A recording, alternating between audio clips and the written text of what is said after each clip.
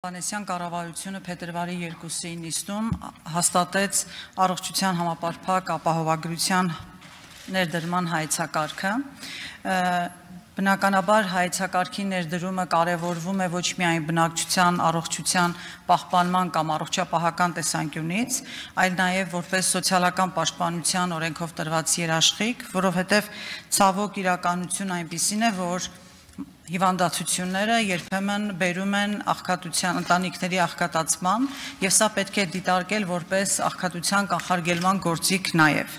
Այս առումով գտնում եք, որ համապարփակ ապահովագրությունը դա սոցիալական պաշտպանություն է բոլորի համար, բայց որpիսի ավելի ընկալելի լինի հանրությանը, թե առաջիկա 4 տարիներին ինչ մեխանիզմով եւ ժամանակացույցով է այն ներդրվելու, խնդրեի մի փոքր մանրամասնեք առաջիկա 4 տարվա անելիքները։ Արդեն կպատասխանի առողջապահության նախարար Անահիտ Ավանեսյանը, համեցեք Տիկին Ավանեսյան։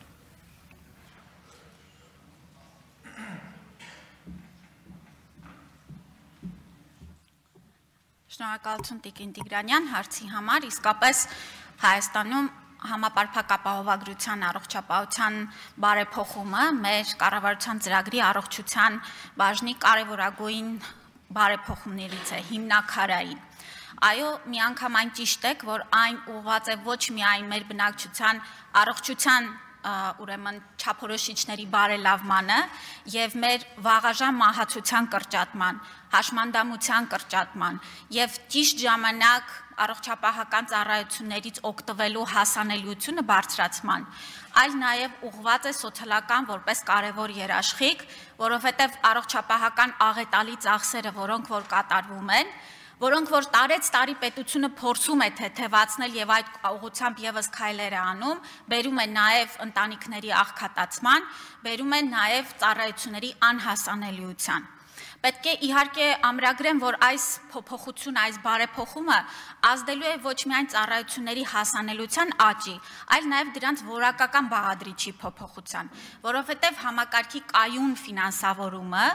եւ կանխավճարային սկզբունքը բերում է ավելի ուղղվածություն դեպի կանխարգելում, դեպի վաղ հայտնաբերում եւ ճիշտ ժամանակ առողջապահական ծառայությունների մատուցում, որոնք ավելի ծախսարդյունավետ են եւ որոնք ավելի բարեհաջող ելքեր են ունենում։ Իհարկե սա շատ կարևոր ուրեմն ընդհանուր առմամբ լայն բարեփոխում է եւ ես պետք է ընդգծեմ, որ առաջիկայում նաեւ կընդունվի առողջապահության ոլորտի ռազմավարությունը, հնգամյա ռազմավարությունը, որը թիրախավորում է, ինչպես ասեցի, որակի բաղադրիչի շատ կարևոր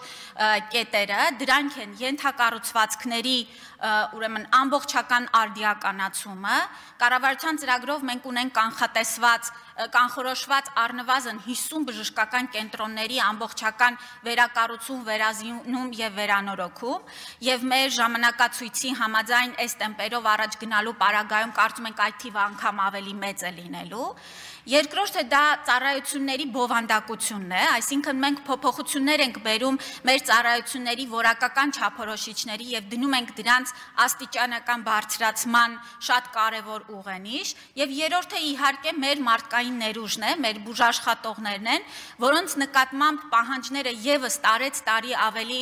բարձրանում են նրանց գիտելիքների եւ հմտությունների թարմացման մասով։ Ասեմ, որ առաջիկա 4 տարիների ընթացքում մենք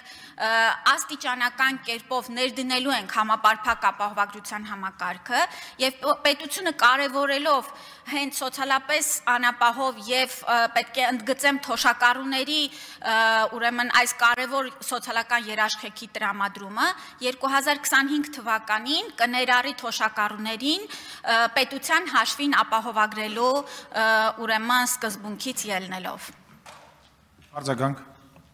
Շնորհակալություն Տիկին Ավանեսյան մանրամասնելու համար եւ արձագանքի իրավունքից օգտվելով կուզեի որ մանրամասնեք հանրության այդ խոցելի խմբերի համար արդյոք այն հասանելի կլինի, որովհետեւ կան մտավախություններ, որ զբաղված կամ աշխատող քաղաքացիների պարագայում པարզ է, բայց չաշխատող կամ կեսաթոշակառու կատեգորիայի համար որոշակի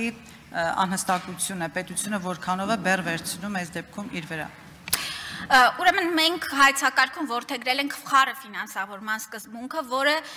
ուսումնասիրելով տարբեր երկրների փորձը ամենակայուն տարբերակն է, եւ պետք է ասեմ, որ առաջիկան 24 թվականից մենք ունենալու ենք միասնական ապահովագրական փաթեթ մեր բոլոր պետական պատվերի այսօր շահառու հանդիսացող քաղաքացիների համար։ Սա ինչ է նշանակում, որ այսօր գործող այդ խառնիճ աղանջ եւ մասնատված համակարգը փոխարինվելու է մեկ հասկանալի փաթեթով եւ այդ բոլոր շահառուների խմբի համար։ Այսուհետ 24 թվականից սկսված օրինակ երկրորդ կարգի հաշմանդամները եւ երրորդ կարգի հաշմանդամները չեն ունենալու տարբերակված ծառայությունների փաթեթ, ինչը բերում է շատ անգամ այսպես շփոթության եւ անհասանելիության ծառայությունների մասով։ Եվ հաջորդիվ իհարկե պետությունը նաեւ շարունակելով սոցիալական քաղաքականության իր կարևոր ուղությունը